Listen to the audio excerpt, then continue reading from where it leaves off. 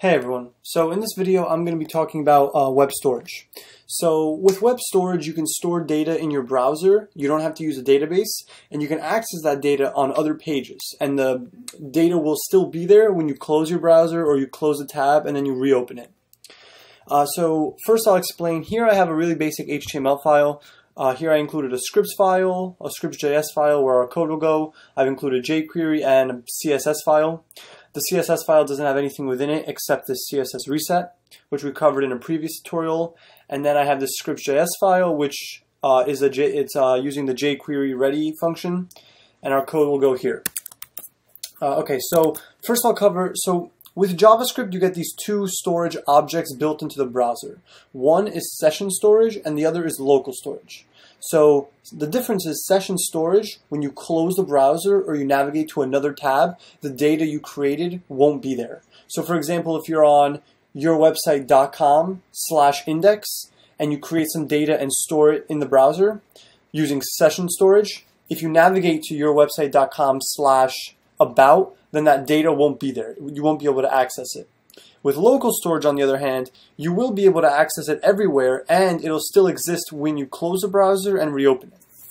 So first, let's go over session storage. So they're really easy to start um, using. It's really easy to start using these functions. So session storage can be useful when a user is writing in an input field on your website, for example. And then if they close their browser or if they reload it, or not if they close their browser, sorry, if they reload that tab in the browser, or if they close it by accident and then reopen that exact same tab, the data they were writing can appear back in. So a good example of this is when you're filling out a login information or sign up information on a website, and when you reload or if you have an error in your form, when the page refreshes, the data you entered is still there. So I'll give a really simple example with that right now. So we'll create a simple form and we'll have input type text ID uh, uh, field one placeholder name. Oops.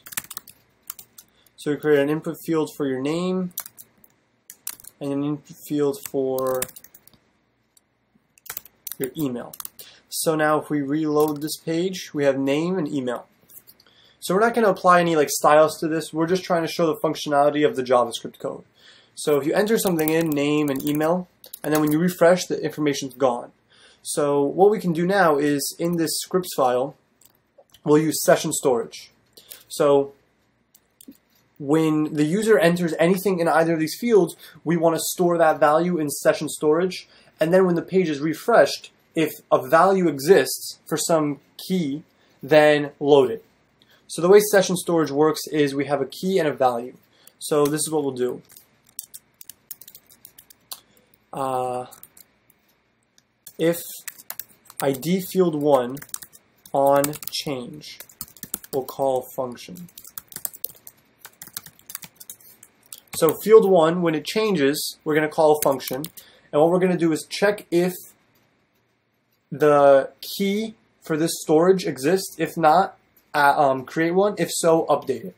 So it looks like, so storage looks similar to a normal JavaScript object. So you can have an object and you have um, key and then a value.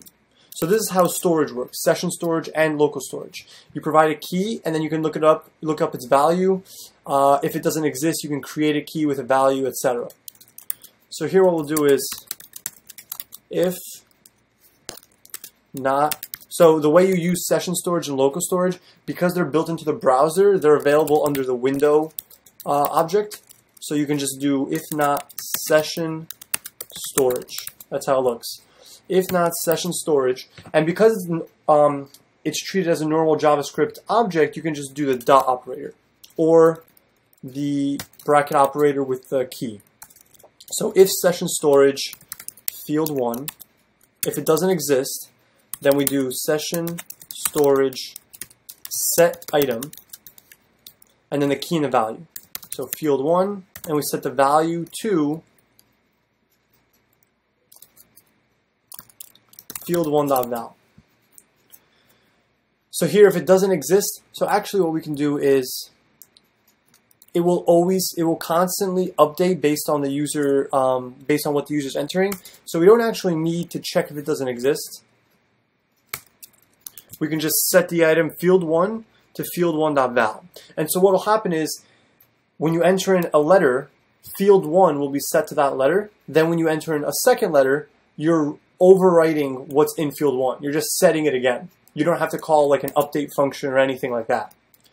And then we'll do the same thing for field two, and we'll set like this. Okay.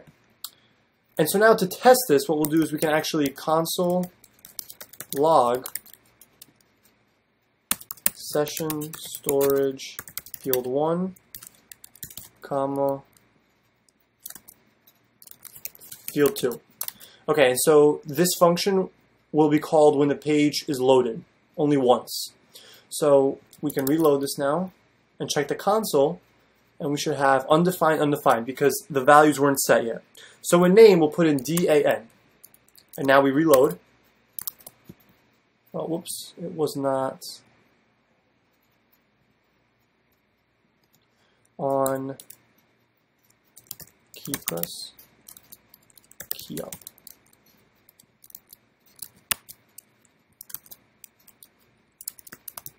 Oh, there it is. So um, we're going to use a key up function here, actually. So when the key is let go, so for example, we typed in Dan, the function was ran every single time, and now you can see that Dan is being printed here. We can write Daniel, and when we reload, we have Daniel. We enter some random letters here, we reload, and we have Daniel in these letters. So what we want to do is, if session storage item field 1 or field 2 exists, place it into here. So what we'll do is, so when the page is reloaded, if session storage field 1, so if it exists, then we're going to get the element in the DOM, field 1, and we're going to set the value to session storage get item field 1. And so here you can see session storage dot field 1. You can also do if session storage get item field 1. You can do both of these. Session storage get item field 1. If it exists, update it. And we'll do the same thing for field 2. So now if we reload, you can see that the values are here. And now We'll enter in something like, we'll enter in some random letters, we'll empty it here, and we reload it, you can see that it persists. So this is what's great about session storage, that the value persists, but if we open up a new tab, so if we create um, a new file and we try and print session storage field 1 or field 2, it'll be undefined. It doesn't exist in another tab or on another page.